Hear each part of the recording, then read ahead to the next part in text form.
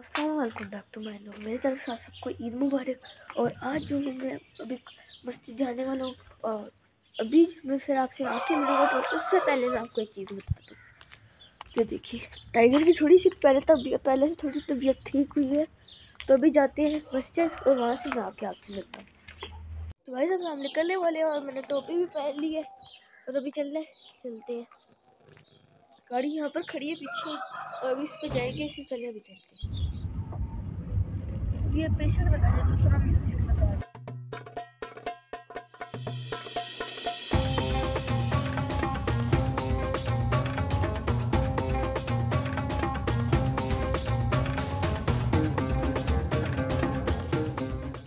तो जैसी नमाज़ पढ़ के तो भाई, बहुत पहले आ गई तो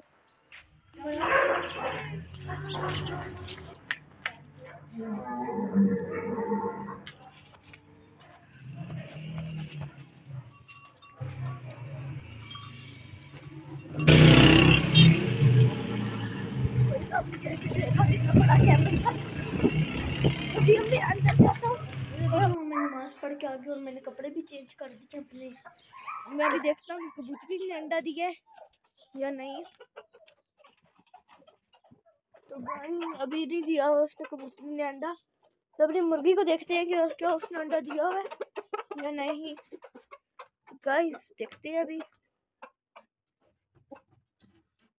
तो भाई गाइस वो तो कुड़क हो चुकी है। तो गाइस मैं काफ़ी खुश हो गया तो क्यों गाइस कुड़क हो चुकी है। तुम बाबा को मेरे ख्याल से बाबा ने देख लिया, बाबा मेरे ख्याल से अभी अंदर गए हैं। तो उनको पता होगा तो अभी उसके लिए जगह भी बना देंगे। मैं बाबा को भी पता होगा, मेरे ख्याल से उन्होंने देखी। मैं अभी अंदर गए थे ना, मैंने जोड़ा खोला है तो उनको पता होगा। तो मैं आपको बता दूँ कि हमने एक अंकल आए थे, क्योंकि मुर्गी की कुड़क हो रही थी तो हमने एटीन एग्स उनको दे दिए थे। और जो है हमने ट्वेंटी फाइव अपने पास रख दिए तो ट्वेंटी फाइव तो ज़्यादा हो गया है इसके नीचे देखेंगे कितने रख दें। और जो दूसरा काम है, रात को इतनी तेज़ बारिश हुई थी तो गाइस अभी इतना अच्छा मौसम हो गया है। तभी भी बारिश हुई थी थोड़ी देर पहले और मौसम फिर ठीक हो गया सारा। अब देखें देखें मुर्गे को।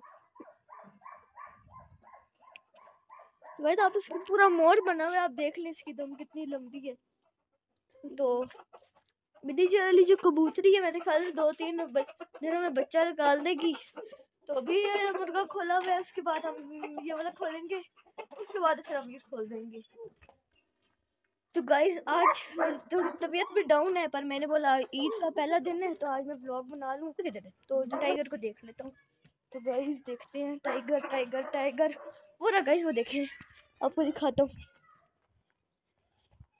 ये रहा। तो गाइस आज थोड़ा ये एक्टिव है।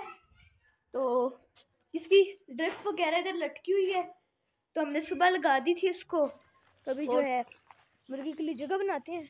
तो गाइस हम उसके नीचे फार्म में एक अंडा रख देंगे ताकि वो दो तीन दिनों में एक दो दिन रखने हैं ताकि वो थोड़ी पक्की हो जाए। और फिर गाइस ये जो मुर्गी है इसको टोकरी में बैठाएँगे। और ये भूसा इधर पड़ा हुआ है तो अभी जगह बनाएँगे जैसे उस मुर्गी की बनी हुई है। तो ये टोकरी है तो इसमें हम इसको बिठाएँगे। तो गाइस बाबा ने अभी बताया कि ईंटों की क्योंकि हम टोकरी में बिठा रहे हैं तो ईंटों की इतनी ज़रूरत नहीं है तो ईंटें ऐसी आ गई तो रास्ते से उनको साइड पे कर देते हैं जल्दी जल्दी। साइड जल्दी से कर देता हूँ। और उसी साइड पे करता हूँ। तो गाइस अभी बाबा ने बोला कि वन एक ईंट आए। तो अभी मैं हम्म, यहाँ से तो नहीं। तो गाइस उठाती हूँ जल्दी से। एक ईंट उठा दी अब काफ़ी मेरे क्या एक हाथ में कैमरा तो एक हाथ में ईंट। का- तो गाइस मैंने आपको जैसे कि पहले भी बोला था कि आप हमें कमेंट सेक्शन में ज़रूर बता दें कि हमें कौन सा बर्ड लाना चाहिए तो हम फिर वो ले आएँगे। तो गाइस यही था आज का मेरा लोग उम्मीद है मुझको कि आपको पसंद आया होगा। अभी तक आपने मेरे चैनल को लाइक नहीं किया सब्सक्राइब नहीं किया शेयर नहीं किया, और बेल आइकन मस्ट दोबारा मैंने आपको पिछले भी बोल दिया था तो अभी उधर दबा दिए किसी लोगों ने अभी बना, दबाने की ज़रूरत नहीं कोई फिर दब- दबता नहीं है। और यही था आज का मेरा ब्लॉग उम्मीद है मुझको कि आपको मेरा पसंद आया होगा। तो अभी तक आपने मेरे चैनल को लाइक नहीं किया सब्सक्राइब नहीं किया और शेयर नहीं किया तो कर दीजिए तो मुझे दीजिए इजाज़त, खुदा हाफिज़।